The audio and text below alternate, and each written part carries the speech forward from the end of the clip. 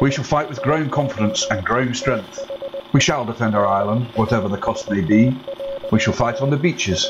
We shall fight on the landing grounds. We shall fight in the fields and in the streets. We shall fight in the hills. We shall never surrender.